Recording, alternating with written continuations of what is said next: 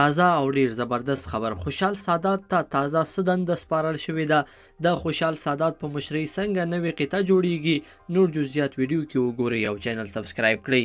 السلام علیکم لیدونکو ستړي مشئ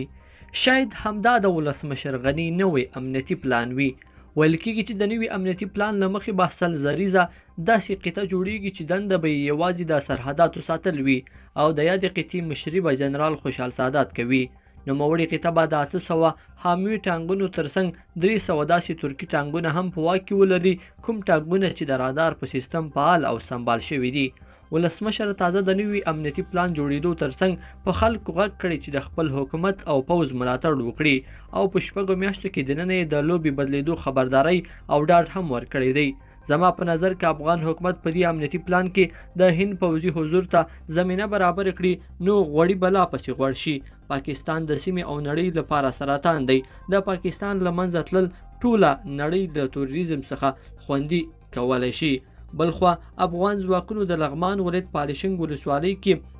اتلس طالبان وژلي او اته ویشت نورې ټپیان کړي دي امنیتي سرچینو صحیحون ورځپاڼې ته ویلي چې وژل شوو طالبانو کې یو شمېر پاکستاني ترهګر هم شامل دي بلخو افغان ځواکونو سمنګان ولایت کې هم یولس طالبان وژلي دي او څلور نور بیا ټپیان کړي دي لیدونکو په دې هیله چې دا مطلب به مو راسره تر پایه پورې لیدلی وي که مو دغه ویډیو خوښه شوې ویډیو لایک کړئ د سره او چینل سبسکرایب کړئ تر بیا ښه وخت